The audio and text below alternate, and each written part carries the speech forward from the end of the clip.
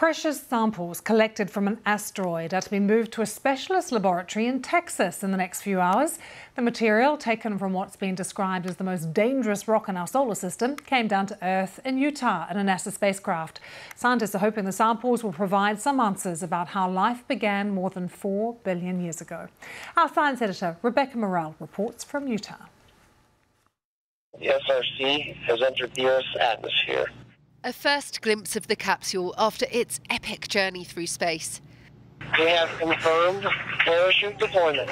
High up in the atmosphere, a parachute opens, slowing its descent. Touchdown. I repeat, DDL. SRC has touchdown. A textbook landing in the middle of the Utah desert. For Dante Lauretta, the lead scientist who spent decades working on the OSIRIS REx mission, it was an emotional moment.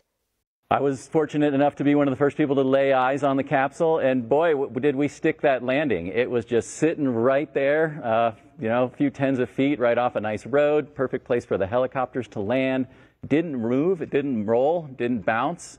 Uh, it just made a tiny little divot in the Utah soil. So for the environmental sampling team, that was great. We had to sample the area right where the capsule landed. We picked up some background sample soils just for understanding the native environment, some dust samples and gas samples to see if anything was coming out of the capsule. We don't think so because the safety engineers were the first ones on the scene.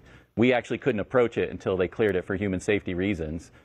And I can't say I'm, I couldn't be more proud. And just to remind you, not only did we bring this mission in on schedule, under budget, and delivered more science than we had even thought was possible with the encounter with Bennu, but we think we've got a lot of sample in that, in that science canister.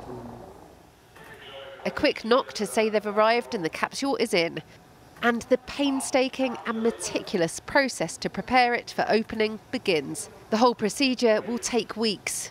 They're processing the capsule, removing portions of the um, uh, canister so that they can get a uh, continuous flow of nitrogen. So, why go to all of this effort? Bennu tops the list of NASA's most hazardous space rocks, so studying its makeup could help us to stop it if we ever need to. But it could also reveal more about our origins. It's a perfectly preserved relic from the dawn of the solar system. It's going to keep scientists busy for a long time. Rebecca Morelle, BBC News, Utah. More on the story on the website from Rebecca and the rest of our science and space team as well. So do log on and take a look.